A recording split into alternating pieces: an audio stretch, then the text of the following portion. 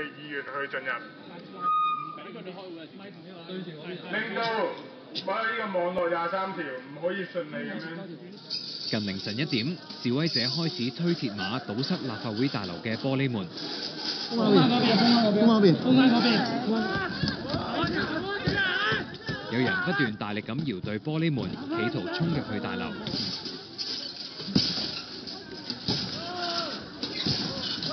之後用鐵馬衝擊玻璃門，部分嘅玻璃被撞到碎裂，場面混亂。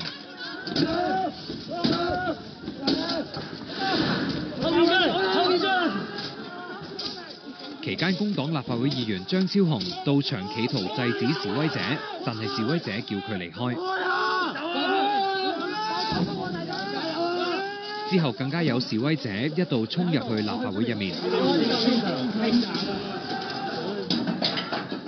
又有人破壞石牆，企圖從緊急出口闖入大樓，又將石頭掟向玻璃門。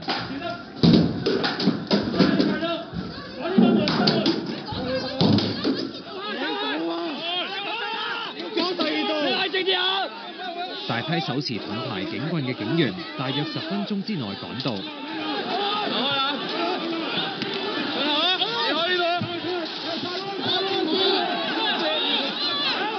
並施放胡椒噴霧，將示威者趕離大門嘅位置。頭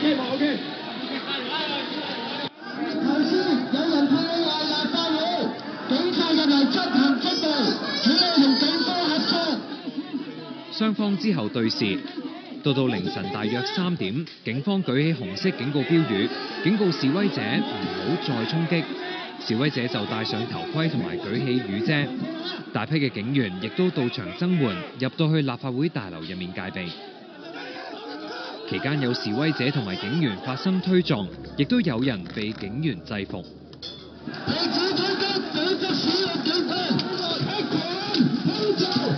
到到凌晨大約四點半，警方向前推進防線，雙方再次衝突。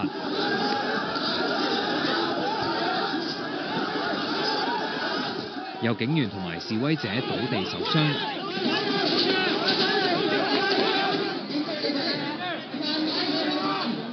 混亂間，有警員跌咗警棍，俾示威者執走。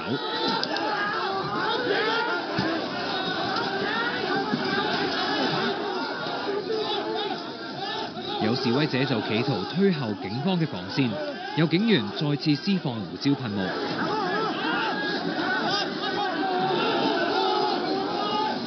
有示威者就幫其他人擒上去往天馬公園嘅出口離開。有示威者就話：今次衝擊立法會大樓係有兩個目的。第一部分係反對馬路啦三條，另一批咧就其實係誒、呃、想藉此嘅行動升級咯，就係、是、咁樣。行動升級嘅目的係咩？點解即係？因為政府唔回應我哋示威者嘅訴求咯，廣大市民嘅訴求咯，好簡單。張超雄就反對衝擊。但係而家佢咁樣衝擊咧，就導致到即係市民會覺得哇，點解即係係咪真係需要去到將立法會再用啲鐵馬包圍起上嚟？咁呢個我哋極之唔願意見到嘅。對於有示威者話衝擊立法會係希望阻止立法會今日討論版權條例，俗稱網絡廿三條，立法會秘書處就話今日並冇有關嘅議程。無線電視記者李卓軒報導。